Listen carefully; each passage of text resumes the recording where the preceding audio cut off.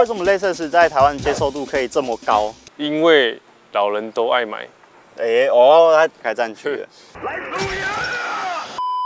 最近场内有收到三台 N 叉系列，然后我们有做了一些功课，发现说进口豪华厂牌里面的修旅车，在二零一八年到二零二二年，N 叉都是排行在第一名，然后平均年销量大概在七千五百台，包括说在疫情最缺车的时候，他们一样是稳固在第一名的位置，这真的是很夸张啊！真的很扯。这样代表台湾人就是非常爱 Lexus 的 N 叉。应该说特别爱 Lexus 这个厂牌。然后我们稍微做一下功课，就是回推，因为其实像丰田集团，就是我们的牛头派，对，大家也都极度超爱。那时候 Sentra 跟 Artis 对比，Sentra 的销量是被打趴在地上的。被吊打。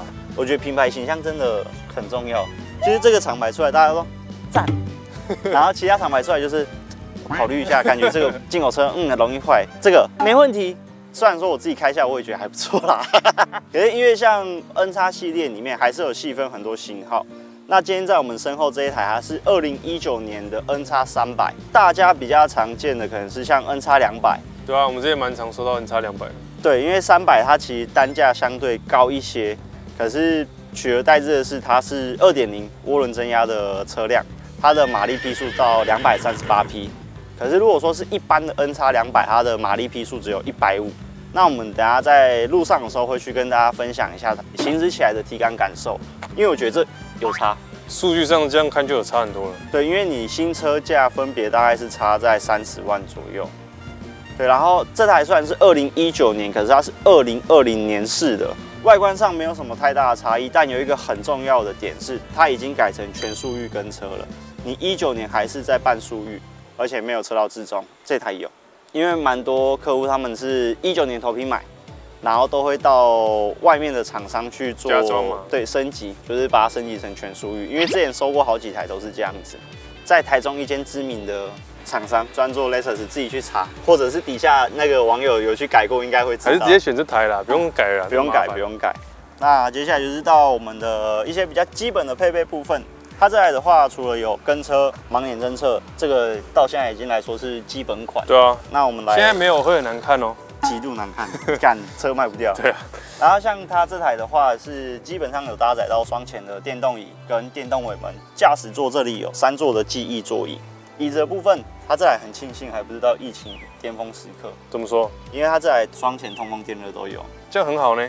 对，因为你有看过嘛，就是有些时候被拔掉了。对啊，你说疫情时候是缺晶片嘛？对，他们会缺料什么的。对，会减少一些东西。那如果说你今天是不需要这么大马力批数，或者是预算有限的话，会需要买到 N 叉两百，那我觉得至少要选到精英 Plus 以上的版本，因为最入门的等级它是没有电动椅跟电动尾门的，也没有通风椅吗？没有，什么都没有。什么都没有。好，对，就是一个进阶版的 RAV4。就是你可能开慢而已，选对 N 叉两百，但你要配备好，你就要选到一定价位。对，啊那这台就是都给你了。当然动力数据有差，可是如果说你这间是 N 叉两百的客户，那不管是新车价或二手车价，讲的就差一些些而已。嗯，那你为了自己便利方便，我觉得还是说捏一下那个就可以上了，捏哪里？不不好说。方向盘的控制也都是电控的，电动的呢？而且你只要熄火之后，它会帮你把座椅拉开。阴兵吗？那你启动它会动吗？就是你启动完之后，因为它会记忆嘛，就是会丢到你原本设定的那个位置。他们家的车都会这样，我觉得有一定的尊荣感受。有啦，就是我觉得蛮舒服的。对，然后再来就是后座，我蛮喜欢它后座的。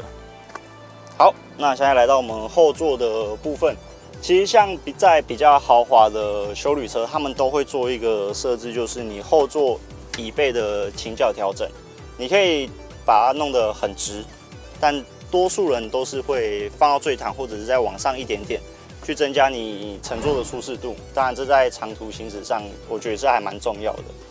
再来一个很特别的部分是，它的后两座有设有电热椅，虽然说一年可以使用到的大概就几天寒流的时候而已，但就是一个尊爵的感受。然后后座出风口，这个基本的一定要有。那最后的话，我们不免俗还是带大家看一下 Lexus 的后箱，虽然说不是很大，内购。熟悉的小，其实它的感真的不知道哎，将来会不会再改我们不确定，可是它目前就是固定就是这样子。大家都知道他们家会习惯做水平的，当然你在拿取行李是比较方便，但相对也会压缩掉很多你的置放空间。这样看起来真的是小很多哎。我觉得这个也是有起到一定视觉的效果啦。就如果拿掉的话，你还是会觉得哎，好像蛮宽的，哎，好小。因为论深度来讲，感觉少一点，对不对？对，当然也会影响到置放的状态了。你这里说下面是原本是放轮胎哦？对，在这个底下哦，保利龙下面。然后这边的话，你可以放，你看它一般我们这个站板都是整块拿取的，可是它是帮你分一半，就表示说你这边的空间运用上会比较灵活。嗯，那你东西如果放深一点，其实你可以这样开，对。但如果说你有放这个话，其实就还是不方便。然后我觉得这台车最主要的重点是在行驶的体感，这是我现在蛮想体验的。OK，那我们路上说，好走。买车卖车，首选巨匠汽车，寻寻觅觅，价格绝对胡你满意。好了，上车先开通风椅，这必须的，我觉得这个很棒。说到这个椅子有没有？我有一阵子没有坐 N 叉了，然后我刚刚我坐上来，我第一个想法是什么？我就觉得它的椅子有点包，不是像赛车椅那种包，但它的包就是我的背会比较进去，然后我旁边的肩膀会被往前推一点。哦，就是。被拥抱着的感觉，对，会有点。你看这个就是你没有一些坏习惯。你看像我有驼背，我就觉得很舒服。驼背认证的椅子，对，完整服帖，我就觉得看好棒，好想睡觉。这我觉得还可以啊，因为 Focus 的正 ST，它的这一块肩膀这一块我很喜欢，就因为它是做比较出来一点，嗯，所以你在开的时候，你可能过弯，你肩膀这边会被拖住，我觉得是还蛮舒服。我觉得如果说像一九年是跟二零年是比较大的主要差异，我们刚才有提到就是它的全速域跟车。那我觉得我们今天其实主要重点是要来试看看 N 叉三百有涡轮之后它的加速体感会是如何。然后我们之前也有拍过一台 N 叉，就是 N 叉两百，我记得是精英版的。那坦白讲，就是开起来就是好听一点，就是顺顺的啦。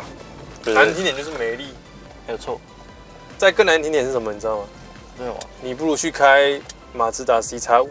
哦，是我可能会讲 RAV4。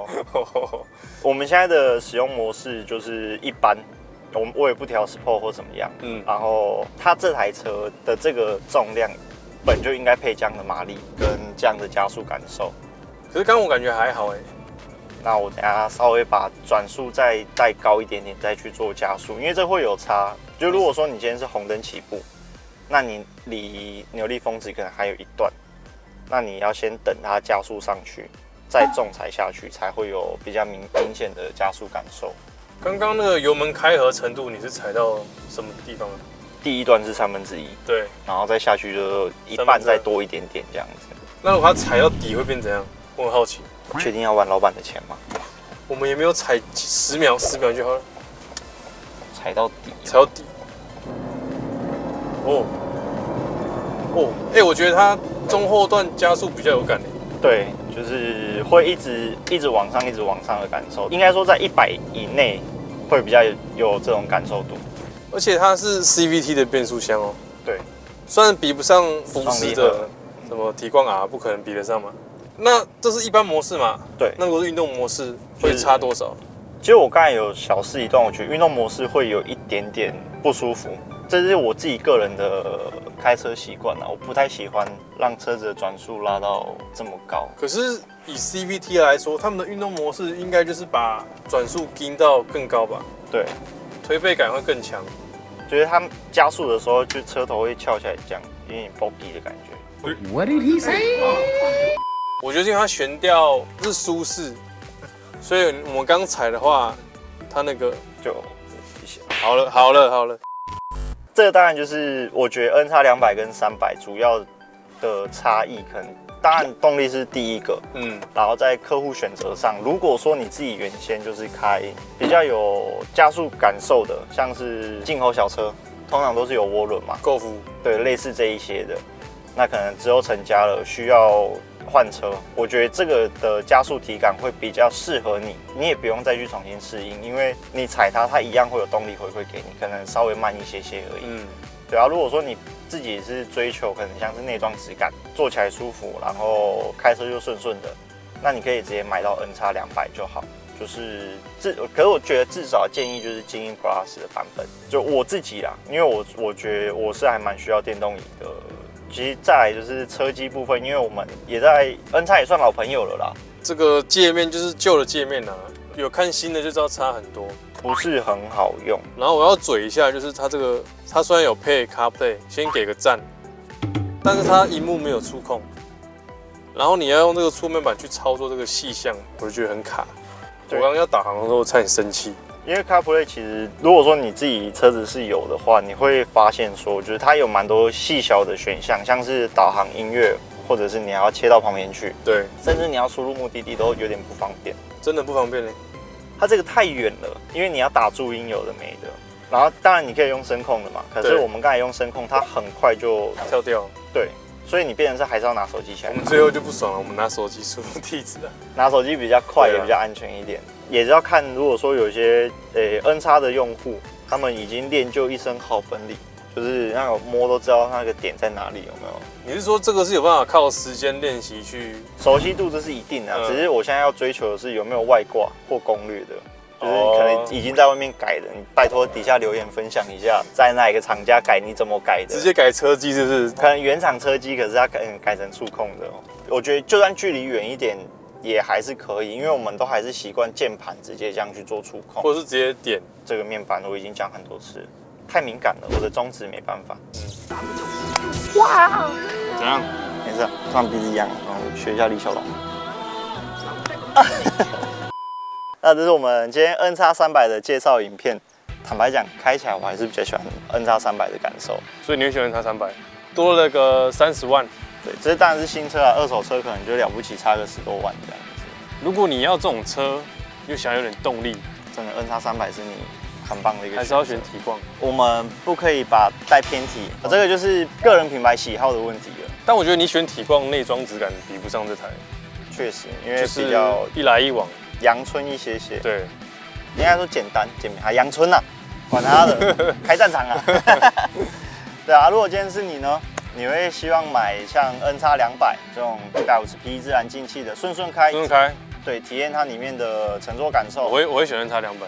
这个就是一个明显的，因为它开车就是顺顺慢慢的。对我真的不会开很快。虽然我也不开快，可是我偶尔还是想要。可是虽然我这样讲，可是每次我开那些跑得快的车，